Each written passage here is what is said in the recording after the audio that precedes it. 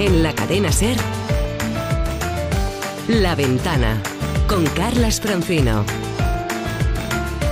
Hola, buenas tardes. Vamos a ver, pregunta para los oyentes, aquí representados por Roberto Sánchez, Isaías Lafuente, Miquel Lejarza. Buenas tardes, compañeros. Hola. ¿Cómo Hola. estáis? Hola. Pregunta, pregunta sencilla además. ¿eh? ¿Os gustan mucho poco los potajes? Esos guisos donde se mezclan tantas cosas. Muchísimo. ¿Os gustan mucho poco? Mucho. ¿Algún Muchísimo. reparo? No. ¿Algún problema? Mi el preferido- potaje cerebral que tienen Hombre, algunos, no, los no. demás. los A mí me gustan mucho y en honor a Lola Flores, que lo hacía muy bien, quiero hablar de la olla gitana. Hombre, Ah. yo, yo de la olla podrida. Pues mira, pues mira, a mí me encantan. A mí me encantan. Me da igual que hablemos del cocido, de la escudella, de la fabada, de la olla podrida, de la olla gitana. A mí me encantan y lo subrayo porque los potajes, las mezclas son un género en sí mismo, en la cocina, pero también en la vida. Yo, en fin, de hecho, es cosa mía, ¿eh? Tiendo a desconfiar bastante de las personas que presumen de ser puras, puras del todo, en lo que sea. Pero bueno, eso es algo muy, muy personal, a lo que iba. ¿Qué les parece para esta tarde un guiso de música, recetas, viajes iniciáticos, servicio militar, bocatas de anchoa, un poco de la movida, un poco más de la transición, unas gotas de historia, Fraga, Franco, fachas, las tres Fs, amigos, colegas y más cosas, ¿eh? porque en la radio también se puede cocinar. ¿Y saben cuál es el nexo de unión de todo esto? Lo que liga la salsa. Pues los libros, dos concretamente. Uno se llama El gusto es nuestro y el otro La furia y los colores. Y sus autores, que son Víctor Manuel y el Gran Wyoming, se asoman esta tarde a la ventana. No sé qué saldrá de la mezcla, no tengo ni idea, pero enseguida vamos a comprobarlo. Bienvenidos.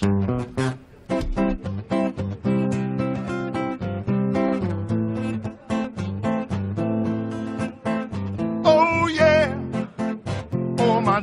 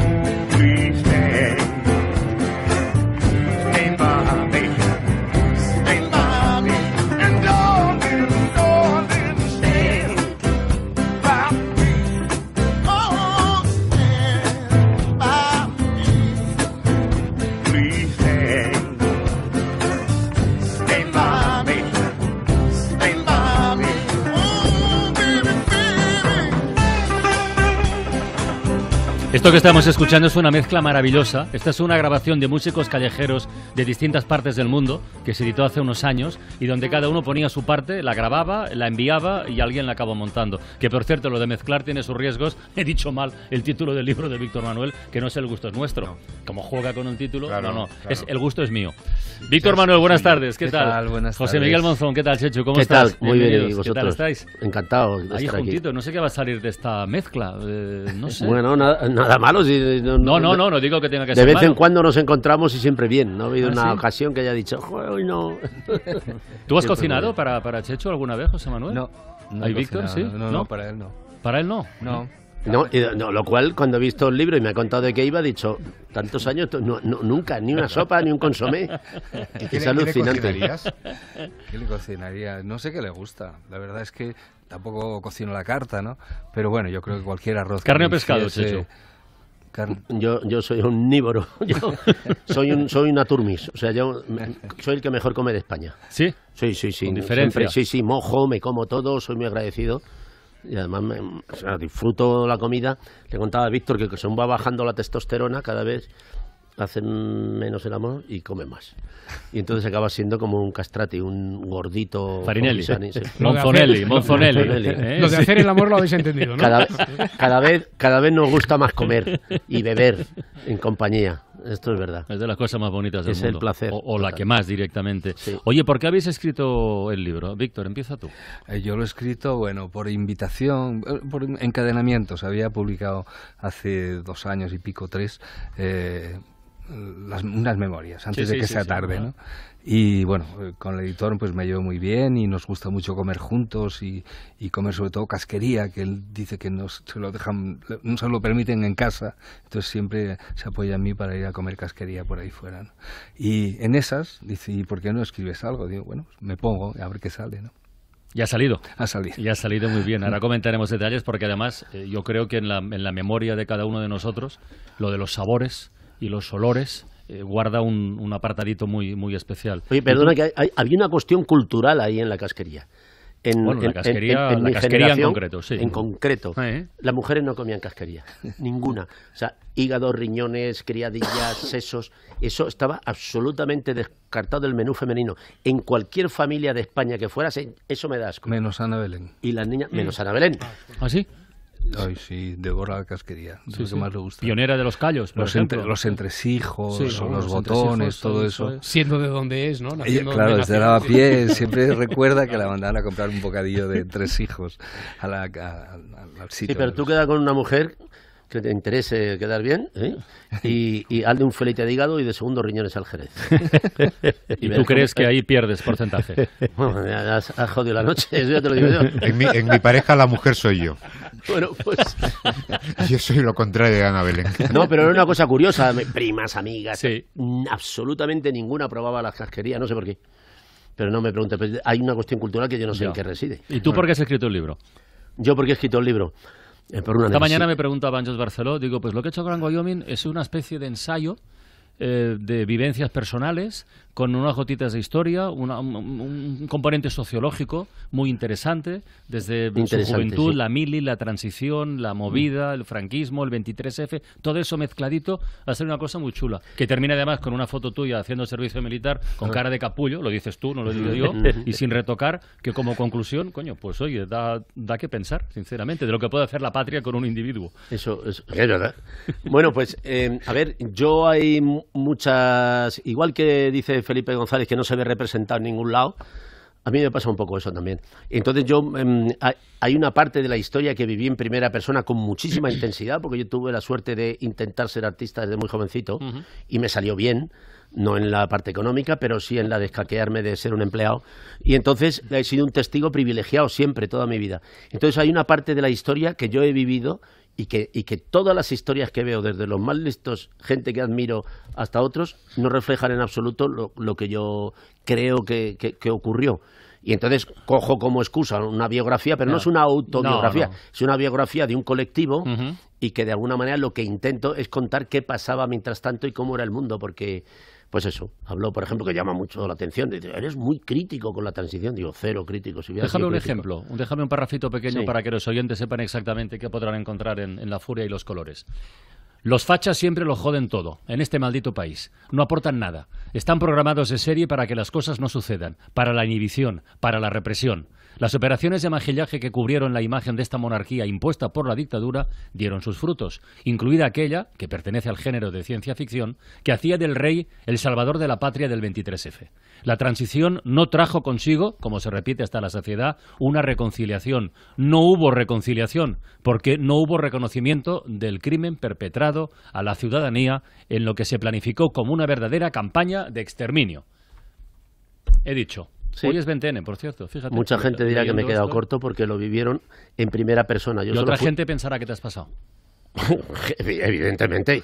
Es que yo siempre he sostenido que hay dos Españas. Igual que me, me preguntan a veces, ¿no? Ahora como hago el programa que estoy todo el día hablando de política, piensan que yo soy un ente político que no tengo nada que ver. Yo vengo del mundo del espectáculo, pero me ha tocado hacer esa función y me preguntan mucho por Vox, como si Vox fuese un ente caído en paracaídas. Vox siempre estuvo. Vox es una escisión del Partido Popular. El, el señor Abascal, por ejemplo, es un señor que estuvo mantenido por Esperanza Aguirre con un sueldo por quedarse en su casa, por admiración. Entonces, esto es- no, no es gente que, que ha surgido ahora de un laboratorio por inseminación artificial. O sea, la diferencia, ahora mismo hemos leído una noticia en la que Vox dice que se va de una Sí, mesa, sí. Ciudadano dice que como no está Vox, es que yo te, te aseguro que me costaría saber quién es el portavoz de quién. Yo creo que los tres coinciden en lo elemental, pero absolutamente. Luego hay unas formas. Vox verbaliza aquello que los otros hacen. O sea, la gran diferencia entre Abascal y Rajoy, por ejemplo, que es el moderado de la derecha, ese es el moderado. Eh, es que eh, em, Vox dice hay que acabar con la ley de memoria histórica y Rajoy, con gran cinismo y mucha retranca, dice he dotado de cero euros la ley de memoria histórica. Es decir, Rajoy abole de hecho la ley y el otro dice que hay que quitarla. ¿Cuál es la diferencia? Ninguna. Pero quiero decir, el hecho de que Rajoy todavía presuma de que, de que ha dejado sin efecto la ley de memoria histórica significa que ni hubo reconciliación ni todavía la hay. Pero bueno, esto es un- no es una opinión, es un hecho constatable de un hombre que sabe. Déjame, déjame, déjame Y luego otra que cosa. opine la- De- la chusma. déjame, déjame otra cosa. Déjame que antes decía que buscábamos puntos de conexión en esta mezcla, cómo podían eh, encontrarse eh, zonas comunes entre estos dos libros, uno en teoría solo centrado en los fogones y el otro en experiencias vitales y en conclusiones sociopolíticas de, de todo un país. Bueno, pues la hay, por ejemplo, en el interés por la historia y en contar historias con nombres propios. Tú cuentas la de Enrique Ruano la del estudiante mm, caído desde una ventana de un piso muy alto y en fin lo que ocurrió a continuación Con un tiro en la clavícula. sí. y, exacto y, y Víctor cuenta la historia que ella le contó a Mara Torres en el Faro de, de su abuela en mitad de entre recetas y entre anécdotas dice todavía hay gente en Ribono y alrededores que recuerda a María porque se ha ido transmitiendo oralmente el episodio que ella protagonizó acabada la guerra civil mucha gente que la había perdido se echó al monte y vivían escondiéndose para no enfrentarse a un juicio sumarísimo y aún más que probable fusilamiento. Una madrugada se escuchó desde el pueblo un tiroteo en lo alto, hacia el Collau, que es un prado hermoso, despejado y rodeado de árboles. Amaneció y varios vecinos subieron para ver lo que había ocurrido. En medio del prado, varios guardias civiles se encontraban alrededor de dos hombres que estaban en el suelo. Seguramente los guardias estaban esperando la llegada del juez para levantar los cadáveres. Los vecinos hicieron amago de acercarse, pero uno de los guardias gritó alto y claro, quietos o disparo. Detuvieron la marcha, pero María se despegó de ellos y siguió caminando. De nuevo le gritaron, atrás o disparo. Sin embargo, ella continuó adelante y otro guardia, fuera de sí, amenazó, alto o disparo. María llegó hasta donde estaban los jóvenes, hincó las rodillas en el suelo, sacó un pañuelo del bolsillo y les limpió la sangre de la cara después de cerrarles los ojos. Se puso en pie y regresó a casa, seguida por el resto de los vecinos. Tiene 106 años y tiene el pelo blanco de nieve. Tiene un vestido negro y de madera negros pendientes. 15 hijos parió, su duro cuerpo y 13 amamantó del mismo pecho. Una abuela que hacía estas cosas y que también cocinaba. y muy bien, Sí, ¿verdad? claro. Y muchas cosas además que cuentas en el libro, Víctor. Eh, la verdad, bueno, son mis primeras dos cocinas, la de mi abuela María y la de mi madre, Tita, ¿no? Y, y mi abuela la recuerdo especialmente porque ella cocinaba sin sal. Sí, sí, eso, no lo, sé- eso lo destacas. No sé quién le había contado. No pudiste averiguarlo. eso. No, algún médico de repente que dijo, sal nada, nada sal. Para su, para su marido, para su uh, Ujú. padre, para quien sea, ¿no? Y siempre cocinaba sin sal y era una cocina riquísima, ¿no? De sabores puros, muy elementales, muy simples, pero fantástica, ¿no? La recuerdo mucho.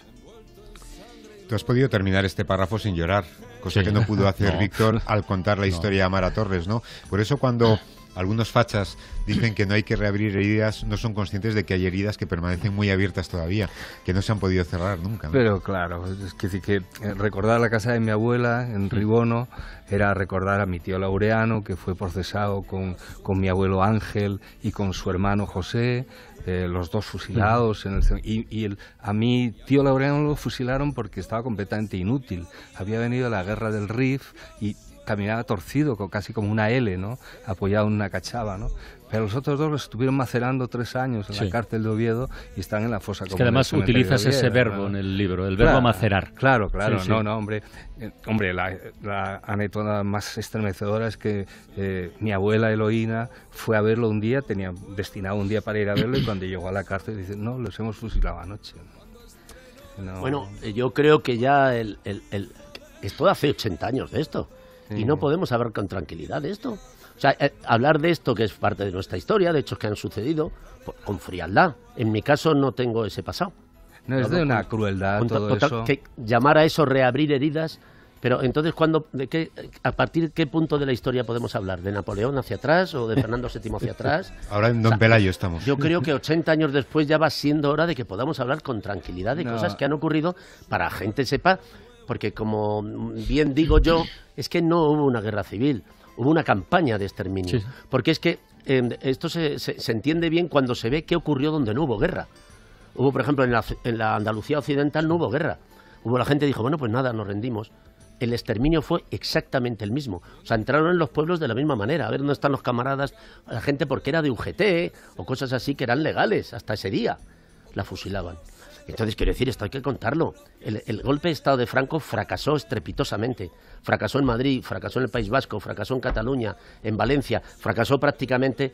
O sea, fue un fracaso. Pero claro, tenían la posibilidad de morir con honor y ser fusilados o iniciar lo que hicieron. Mm. Una campaña de exterminio, que era su única vía de salvación, y lo hicieron. Hay una En- parte de este país muy muy cainita, ¿no? Que eh, yo iba al extremo en unas cosas que publiqué hace tiempo. y Decía, ¿por qué no les dicen a los padres de Marta del Castillo que no hay dinero para buscar a su hija, no? No, o sea, se refugian en gente desaparecida hace 80 años, en familiares ya muy ancianos, muy al otro lado casi de la vida, ¿no? Eh, entonces, es de una crueldad extrema, innecesaria además, ¿no? Porque no es un problema ni de dinero, Ya. La ideología, básicamente. Miquel. ¿no? En el libro eh, me ha llamado mucho la atención que al principio comentas que los que hemos nacido en la década de los 50, 50, hemos, sí, hemos sí. vivido lo- la mejor época de la humanidad.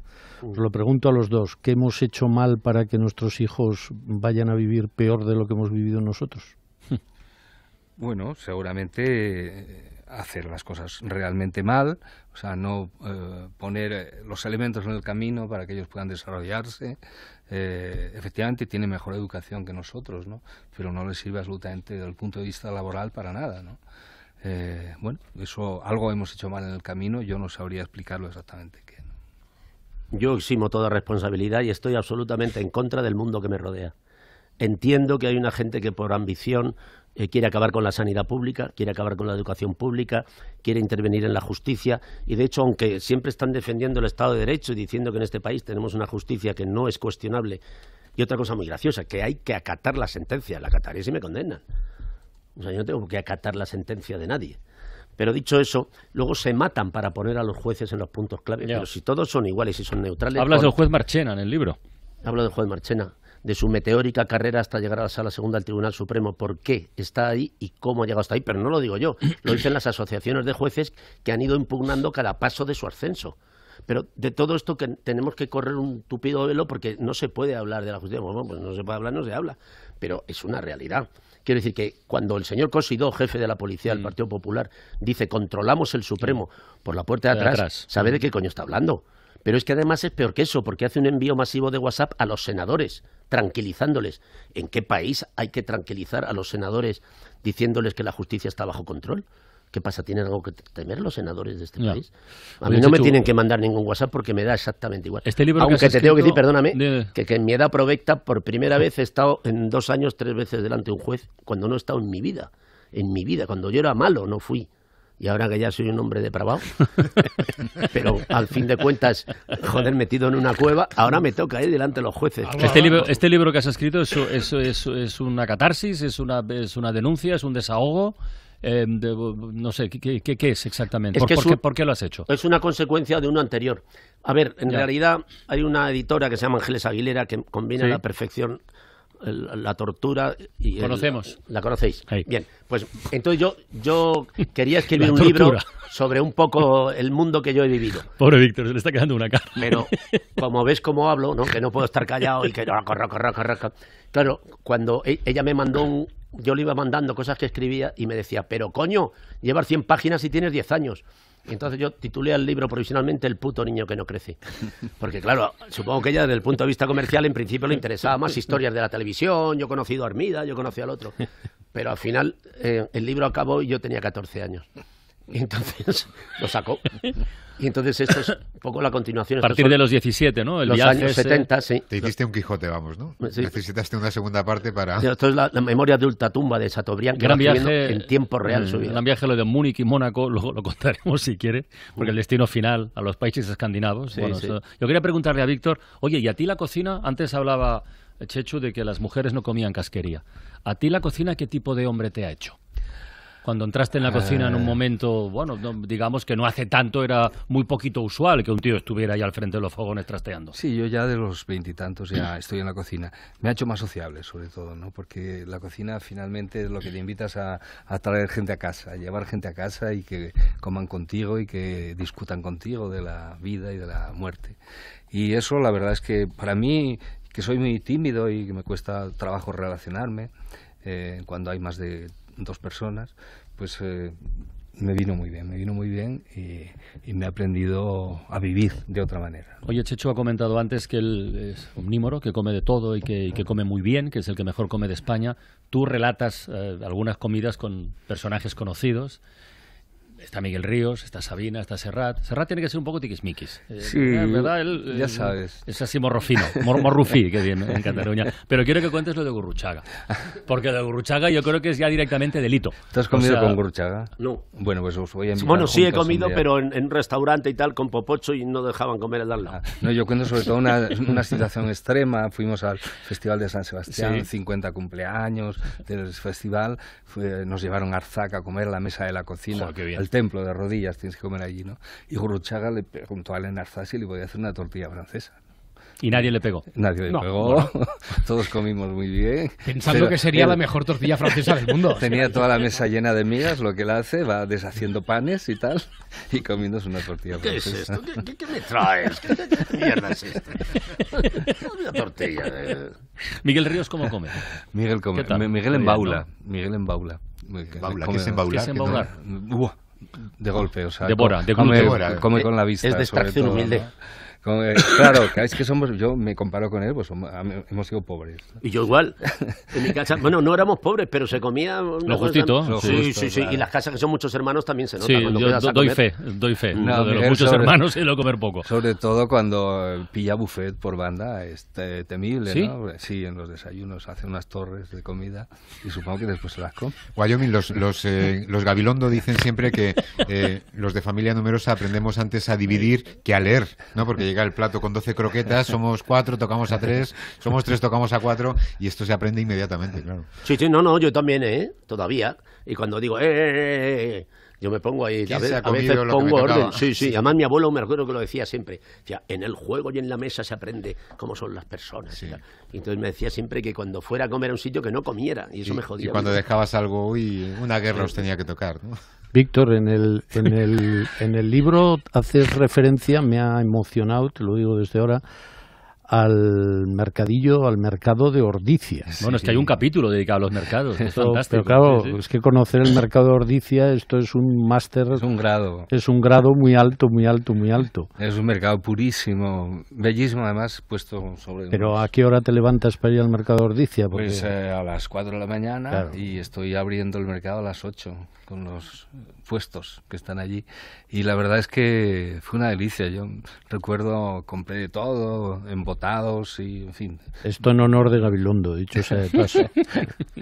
Sí, Iñaki dice, pero de verdad te levantaste a las 4 de la mañana y fuiste hasta Ordicia. Y yo, sí. Bueno, él se levantaba para ir a la radio, tampoco Bueno, es tan raro. pero ya no se levantaban. ¿Y qué, qué Está es, un poquito más cerca. Mucho más raro. qué- qué- alguien como tú que, que disfruta de la gastronomía, de los sabores, ¿qué te gusta más? ¿Descubrir cosas nuevas o prefieres apostar por seguro por, por platos que ya has comido un montón de veces pero que sabes que... No, yo me arriesgo mucho. Yo si Sí. veo algo nuevo, arriesgo. Eh, me pase lo que me pase, ¿no? Recuerdo... Para gran preocupación de la- Ana. Claro. Como cuentas, por cierto. Las primeras comidas cuando ibas a América, ¿no? Que yo me metía en los cuchitriles más asquerosos, ¿no? O sea, recuerdo la primera visita a México, me llevó un amigo y dice, mira, aquí el puesto de al lado encontraron la semana pasada un hombre descuartizado en las ollas y tal, y lo que la señora dijo es que no lo servían, que no lo estaba sirviendo, eh, los intestinos de su marido, de quien fuese, ¿no? Pero estabas allí al lado, ¿no? Siempre al, al borde, al límite, ¿no? Y seguramente por eso nunca me pongo mal del estómago, ¿no? Porque ya me inmunicé en aquellos primeros viajes. Dejas a México muy bien, ¿eh? En Sí, libro, bueno, con México- nota alta, ¿eh? O México sea, es lo máximo, ¿no? Junto con Perú en la gastronomía latinoamericana, ¿no? Pero México sobre todo, México es de una pureza absoluta. Y otro punto de conexión entre los dos libros, ahora paramos un poquito, pero seguimos hablando, ¿eh? esto no ha terminado, es el de los bares. No, ¿Podemos hablar durante la pausa? Sí, pero no, no te oirá la gente, pero podemos seguir hablando, ¿no? Si tú ni debajo del agua, ya lo sé. Esos bares donde, por cierto, Chechu y el reverendo pasaron tantas horas, bueno, y donde tú sigues yendo también a tocar. Guerreros legendarios, bajáis de las montañas, las peleas son atroces, con animales feroces, las muchachas sonrientes os saludan complacientes.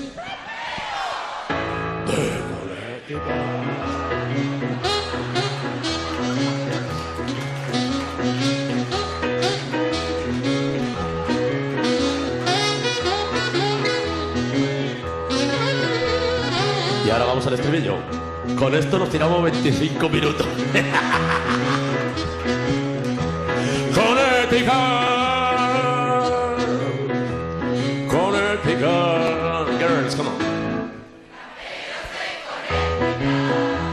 Cansarte. Tener mi casa pagada y seguir pagando de más por mi seguro de hogar. Mutuarte. Traerte a la mutua tu seguro de hogar y tener lo mismo pero por menos dinero.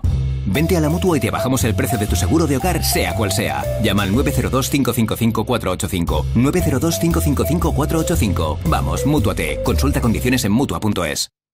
Tenemos un problema. No vamos a poder ir al fútbol con tus amigos. Este grifo gotea y no vamos a dejarlo así. Pero eso tiene solución. Bricor está muy cerca. En Bricor tenemos más de 60 tiendas muy cerca de ti en los centros del corte inglés e Hipercor. Para que siempre encuentres lo que tu hogar necesita. Con las mejores marcas en pintura, herramientas, ferretería, jardín. Bricor, ¿qué arreglamos hoy?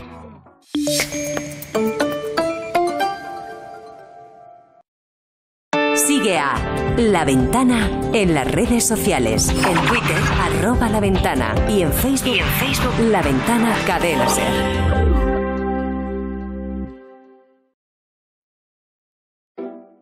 La cadena Ser presenta El placer de escuchar.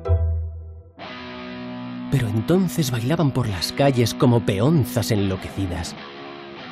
Y yo vacilaba tras ellos como he estado haciendo toda mi vida, mientras sigo a la gente que me interesa.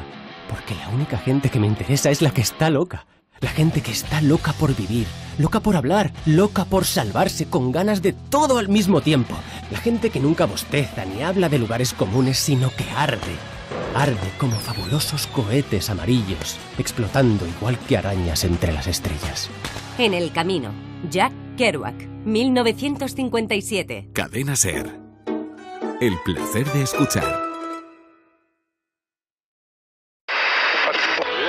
Si quieres escuchar a los mejores comentaristas deportivos, Hola, ¿qué tal? Muy buenas noches. Bienvenidos al larguero. a todos juntos Y en un mismo programa, temporada más la Liga. lo tienes muy fácil. Está por aquí Kiko Narváez. Hola, Kiko. Pues estoy aquí. Muy buenas noches. Hola, Gustavo. Hola, muy buenas, Garrillo. Álvaro Benito, hola. ¿Qué tal? Buenas noches. Y Turralde González, muy buenas. Buenas, De lunes a jueves a partir de las once y media de la noche, Manu Carreño con todo su equipo. ¿Qué tal, Manu? ¿Cómo estáis? Presente. luego se incorporarán ya Jordi Martí, Romero, Gallego, bueno, pues Pulido. Toda la familia. Toda la El familia. larguero con Manu Carreño, líder de la radio deportiva de la noche. Mucha información, muchos protagonistas que nos están esperando. Cadena Ser. De lunes a viernes a partir de la una y media de la mañana, El Faro.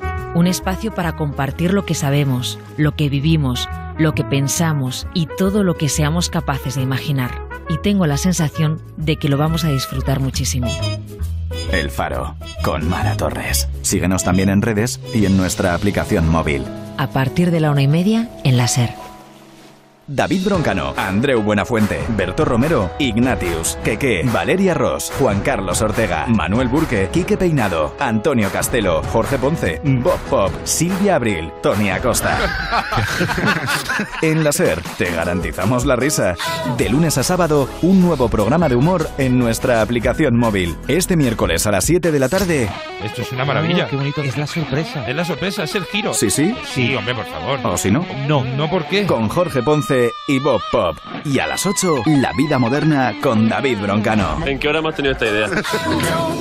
Cada día, un nuevo programa de humor en nuestra app. ¿Esto es una noticia? Pero chico, ¿pero tú en qué mundo vives? Cadena Ser.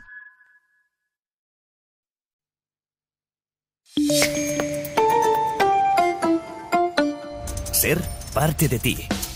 Ser parte de tu negocio. Ser publicidad. ¿Quieres anunciarte en radio? Te ayudamos a impulsar tu empresa. Entra en serpublicidad.com y encuentra la mejor manera para dar a conocer tu negocio. Ponte en contacto con nosotros y en solo dos pasos sonarás en las mejores radios. Más sencillo de lo que imaginas. Serpublicidad.com. Producimos tu audio y te asesoramos con tu campaña. Serpublicidad.com. Sé parte de nosotros. Concupisciente. Respuesta correcta. Te llevas un viaje a Bali con todo incluido la última semana de noviembre. pues me viene fatal. Nada va a hacer que te pierdas el Blue Friday de Ford. Del 20 al 29 de noviembre, toda la gama Ford a un precio único. Como el Ford Kuga totalmente equipado con navegador, llantas de aleación, cristales de privacidad y mucho más por 18.350 euros. Corre porque solo hay mil unidades. Financiando con FCE Bank. Condiciones en Ford.es.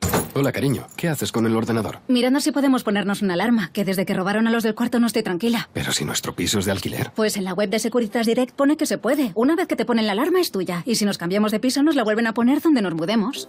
En Securitas Direct protegemos lo que más importa.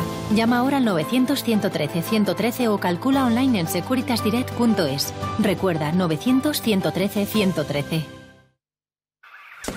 eh, estando en el frente de batalla, no muy lejos, vimos como a un compañero, una bala perdida, le impactó en el pecho. Lamentablemente falleció al instante.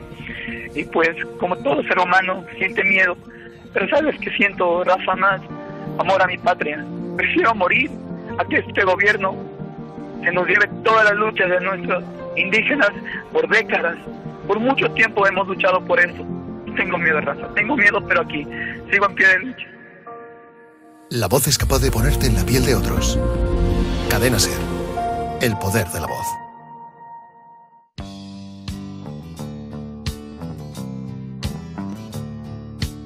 La Ventana con Carlas Francino. Aunque soy un pobre diablo, casi siempre digo la verdad. Como fuego abrasador, siempre quise ser el que no soy.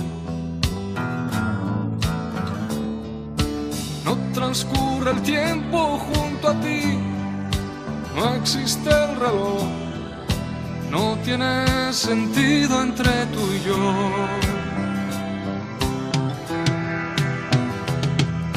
Aunque soy un pobre diablo, se despierta el día y echo a andar. Hoy estamos en la ventana presentando dos libros, uno de Víctor Manuel, que se titula El gusto es mío, y otro del Gran Wyoming, que es La Furia y los Colores. Y les tenemos aquí a los dos mezclados, y voy a revelar un fragmento de conversación mientras estaban los micrófonos cerrados que hecho nos ha dicho, qué cabrones, o sea, estando aquí Víctor Manuel y me ponéis a mí a cantar. Bueno, pues esto es la compensación para que todo quede en su, en su justa medida. Perdón, que lo decía por él, ahora ya esto queda completamente eclipsado. O sea, Siempre es que muy escucho, humillante. escucho esta Pero- canción, me- perdón, Sí, sí, no, no, me acuerdo de Isaías porque siempre me ha corregido que hay Ah. una cosa que está mal, sé quién son amigos de verdad, entonces cada periódicamente, cada dos o tres años me lo recuerdo. Te corrige Isaías, te corrige tu nieto. Joder, oye. Luego comentamos, déjame un momentito porque fíjate, antes hablábamos de, de las mujeres que no comían casquería, el hombre, de, de cómo te ha hecho una determinada manera de ser, de la masculinidad, lo de tocar los fogones y la cocina desde hace tanto tiempo. Rebelión de mujeres, por cierto, en Twitter que sí comen casquería. Ah, Sí. ahora. Claro, claro. No antes, pero vamos, o sea. Pues mira, vamos a abordar un asunto eh, absolutamente serio, además abro un, un paréntesis, que tiene que ver precisamente con esto, con la masculinidad, sea nueva o vieja. Es nuestra polémica de hoy. La polémica de Isaías Lafuente.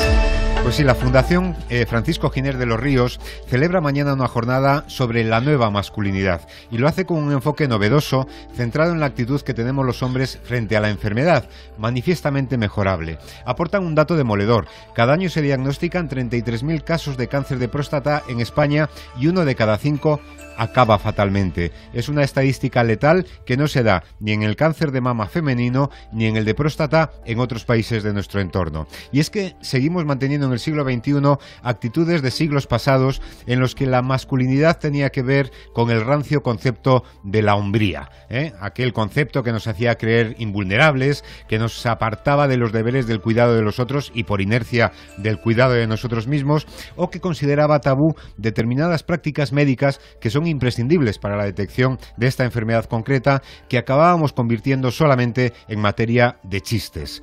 El mundo de la moda nos convenció de prescindir del traje y corbata como uniforme. El de la cocina inventó la gastronomía para animarnos a vestir un delantal y coger una sartén con naturalidad sin que alguien nos dijera nada.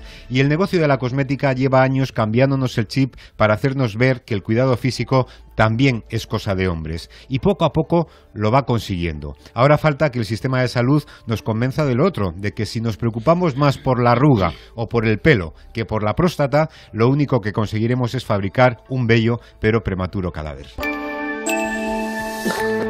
Ana Martínez, buenas tardes. Buenas tardes. Ana Martínez es antropóloga social y profesora de sociología en la Universidad Rey Juan Carlos y va a participar en este foro con una ponencia que lleva por título Consecuencias de los arquetipos masculinos ancestrales en la salud física y mental de los hombres. Ergo, nos falta bastante por mejorar todavía, ¿no? Sí, algo así parece por lo que nos dicen los estudios. Hay un dato demoledor que es comparar eh, las víctimas cada año por cáncer de próstata con el cáncer de mama, que comentaba ahí Isaías. Y, en fin, es que es una diferencia absolutamente abismal. ¿En, cuánto tiempo tendríamos eh, que corregir nuestros hábitos para que esto, digamos, se igualara por la parte baja? Bueno, tenemos una buena y una mala noticia. La buena es que estas cosas son culturales y se pueden cambiar. La mala es que no se cambian de la noche a la mañana, entonces tienen que ver con la percepción social de, de la enfermedad, pero también de la salud. Y, y de eso se trata. La, la jornada de mañana es para pensar en una nueva masculinidad que, nos, que no sea dañina para la salud, que sea generadora de salud. ¿Hay algún país de referencia del que podamos aprender en este, en este terreno, Ana? Bueno, eh, este es un problema muy extendido y, y, del mismo modo que nos pasa con la violencia, que no hay ningún país de la violencia contra las mujeres, me Ujú, refiero, sí, sí. que no hay ningún país que esté libre de ella, pues eh, esta construcción de la masculinidad, eh, bueno, pues es muy tradicional y viene eh, siempre estando presente en muchas culturas, ¿no? Eh, hay países que sí llevan alguna iniciativa interesante, por ejemplo Canadá o, o incluso en América Latina hay unos, eh, acaba de haber un, un encuentro de los llamados varones antipatriarcales que están haciendo todo un trabajo eh, a nivel de la región de América Latina eh, y, y, bueno, están avanzando en este sentido.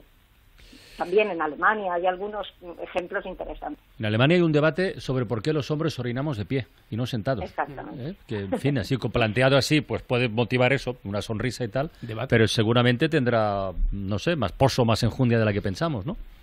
Sí, pero, pero es interesante porque, aunque parezca una cosa muy sencilla y muy simple, y de hecho lo es, no tiene mayor trascendencia, eh, da la sensación, y de hecho el debate y la polémica que se ha generado en Alemania es que algunos hombres se niegan como si en la manera de orinar estuviera su identidad masculina, lo cual es una cosa que, que daría risa si no, si no fuera eh, si no fuera porque porque efectivamente o sea si estamos construyendo nuestra identidad en base a estas cosas pues entonces claro luego nos pasa lo que nos pasa no y al final termina siendo la masculinidad un, una un, un factor de riesgo no para Ya. poner en peligro nuestra salud o sea qué sentido tiene. Pues no tiene ninguno. Ana Martínez, muchísimas gracias por estos minutitos en, en la ventana, ¿eh?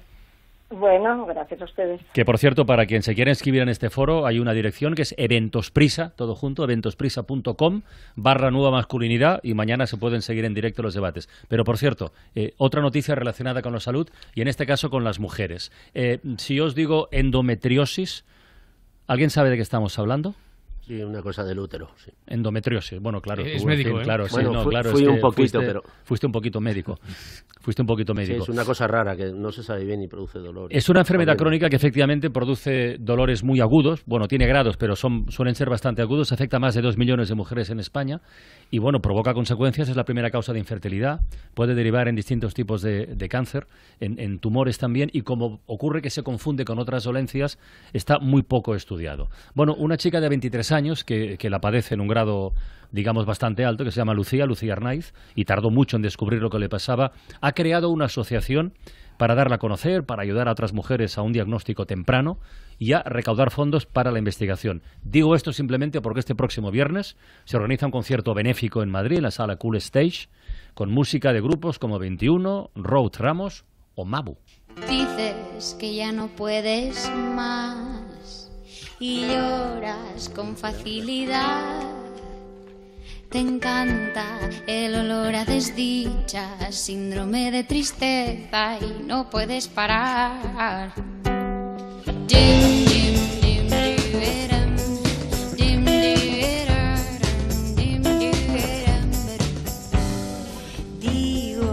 Podrás. Cierro el paréntesis de estos asuntos relacionados con, con la salud de hombres y mujeres y que son muy serios y enlazo con la, con la cocina.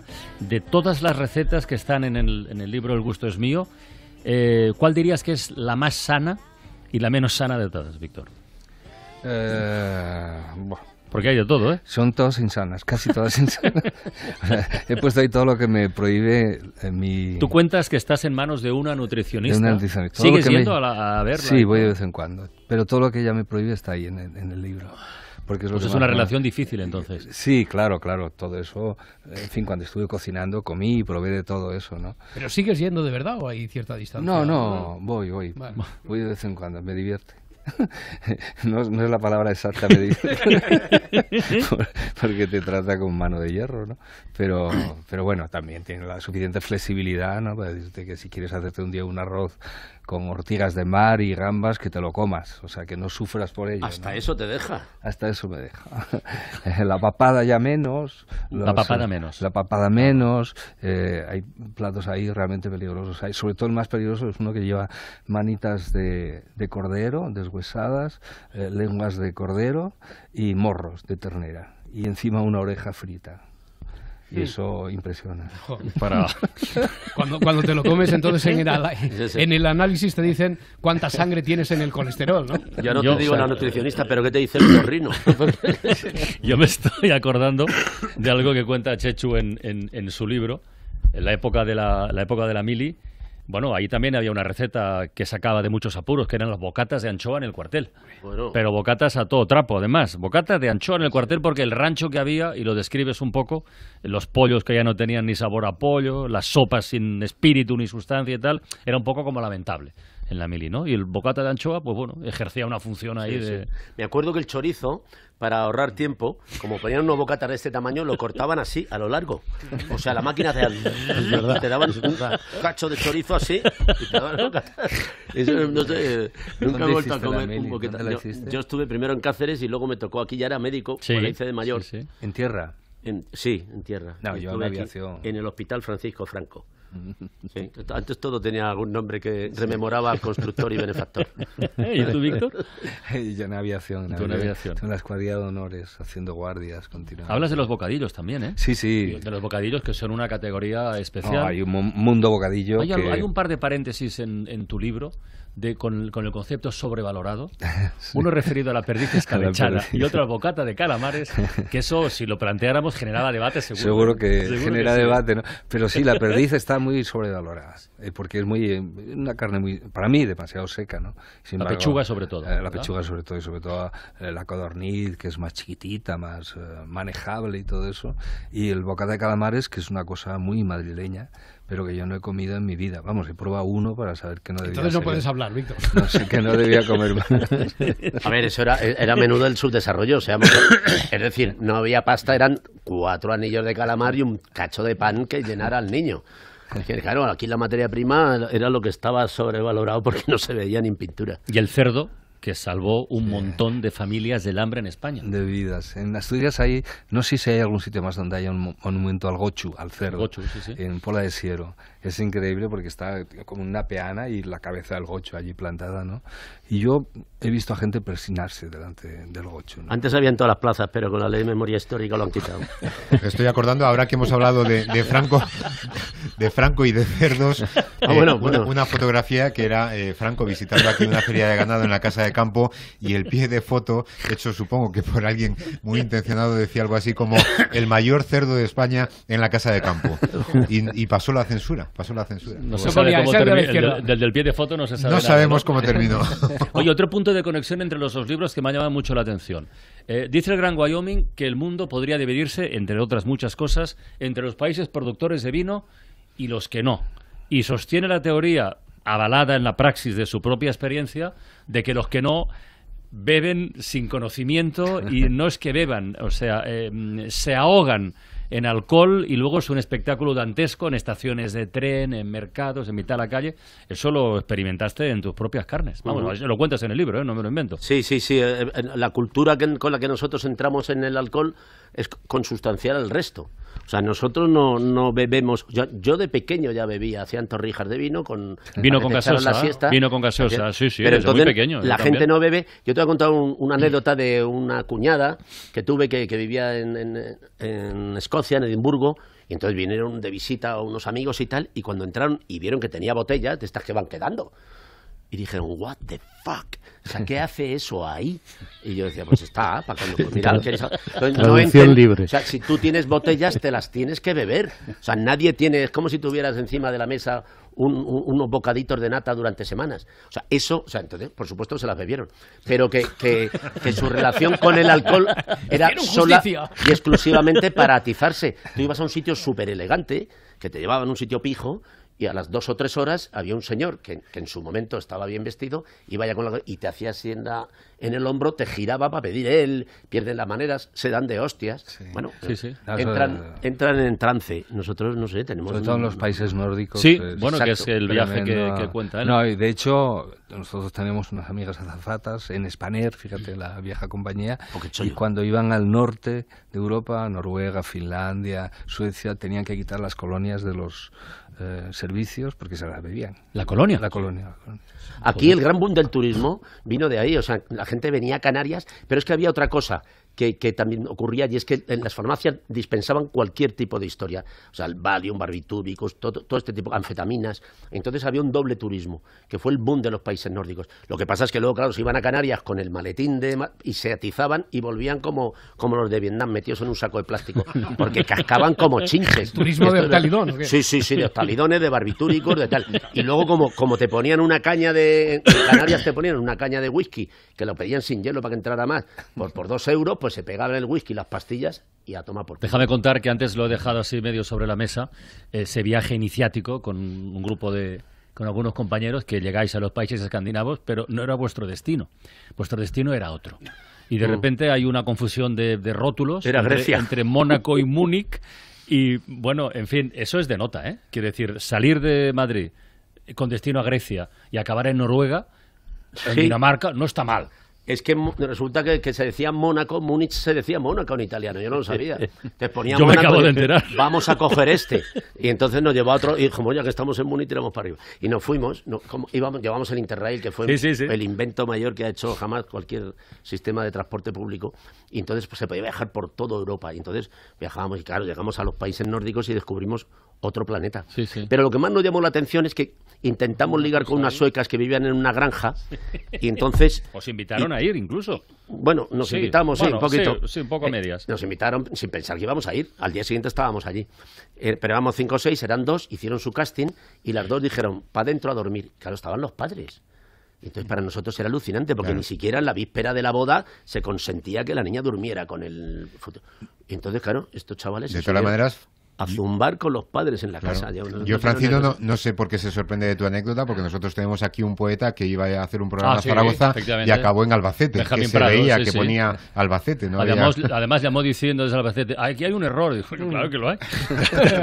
Te has equivocado de tren. Pero fíjate la importancia de ese viaje. Página 44, lo que dice el Gran Wyoming.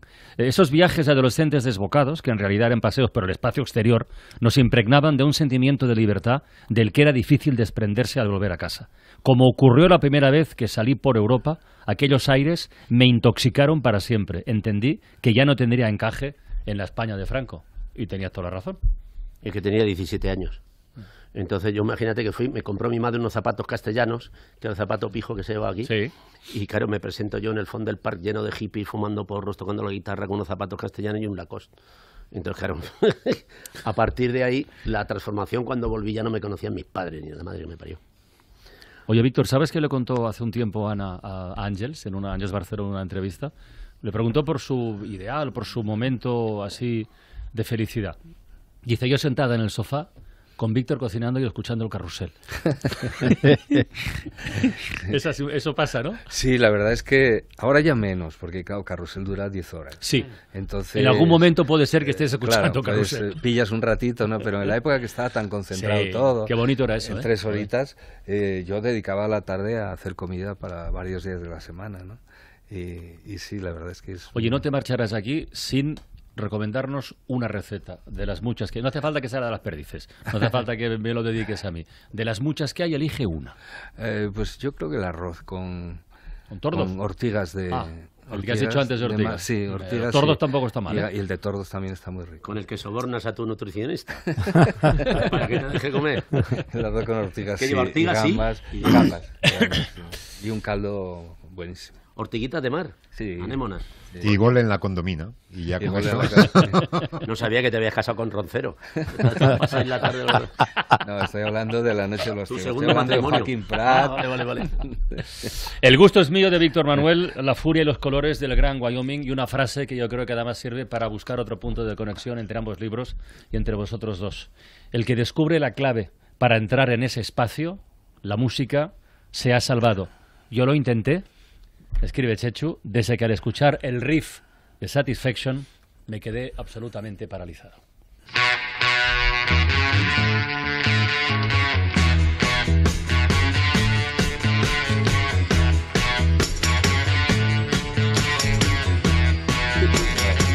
No se puede ser más tonto, pero es definitivo.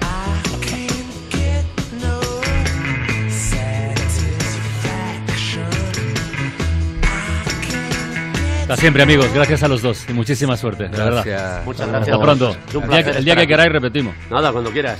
Venga, chao.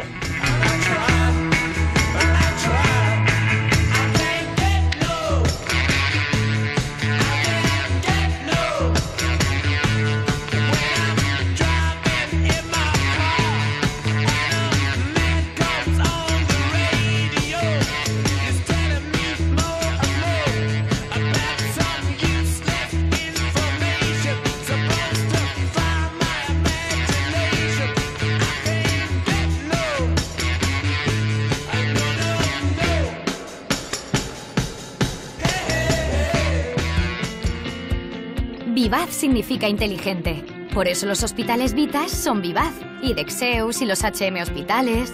El seguro de salud con los mejores hospitales desde solo 14,90 euros al mes sin copago. Tenía que llamarse Vivaz. Llega Vivaz. Por fin un seguro de salud inteligente. Vivaz 91 807 9910. 91 807 9910. Consulta condiciones en vivaz.com.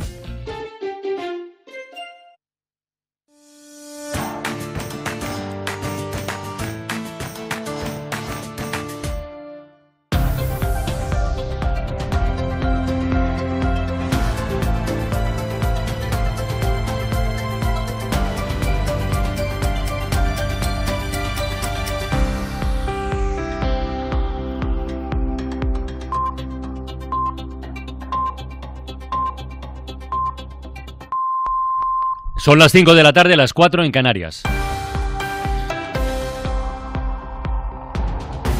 La lluvia ha obligado a aplazar una parte de las operaciones infantiles programadas para mañana en el Hospital Virgen del Rocío de Sevilla. Ha caído agua al menos en uno de los cinco quirófanos y la situación parece que es bastante complicada. Radio Sevilla, Enrique Carneado.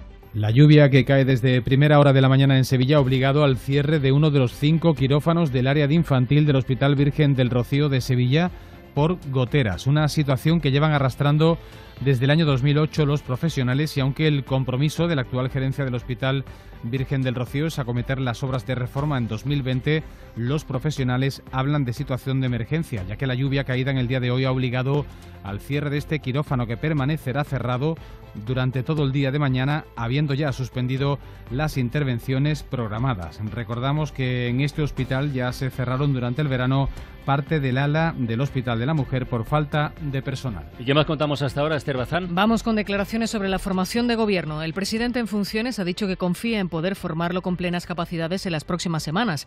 Y el líder de la COE ha insistido en la necesidad de explorar opciones que garanticen la estabilidad y la moderación. En estos momentos estamos en ese momento de incertidumbre y está claro que fórmulas, fórmulas, eh, vamos a decir, ideológicas mm, que no prácticas, pues pueden no ser eh, lo más adecuadas para, en este caso, que es en lo que yo hablo, para la economía y para las empresas, en definitiva también para el empleo. Marapalo a la Dirección General de Tráfico por su intento de dejar fuera a las autoescuelas online de los cursos de sensibilización vial, cursos obligatorios y